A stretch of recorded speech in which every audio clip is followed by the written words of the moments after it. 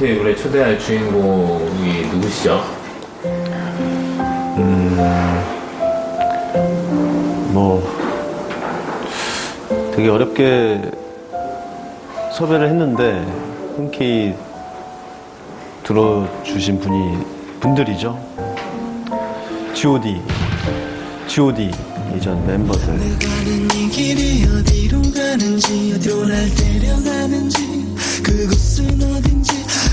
없지만 알수 없지만 알수 없지만 오늘도 난 걸어가고 있네 나는 왜이 길에 서 있나 이게 정말 나의 길인가 이길 끝에서 내 꿈을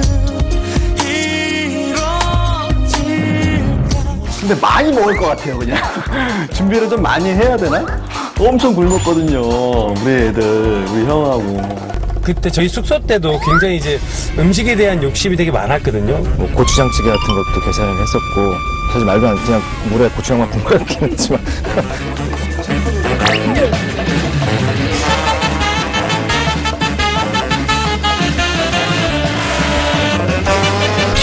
국을 먹었던 기억이 나네요. 그렇죠. 고추장 그래서 기름국 그 고추장 기름 그 찌개는 아니겠죠? 상욕을 그렇지. 좀 해주세요. 네. 오랜만에. 상력.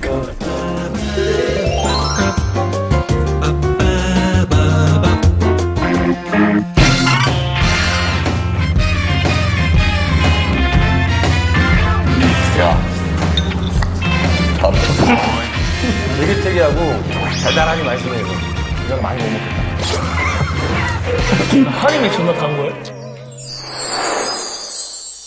저도 사실 불만이 있었고 원망도 있었고 그래서 오히려 막 좀 악 같은 게 있었어요. 나는 연기자를 하려고 나오지 않았어.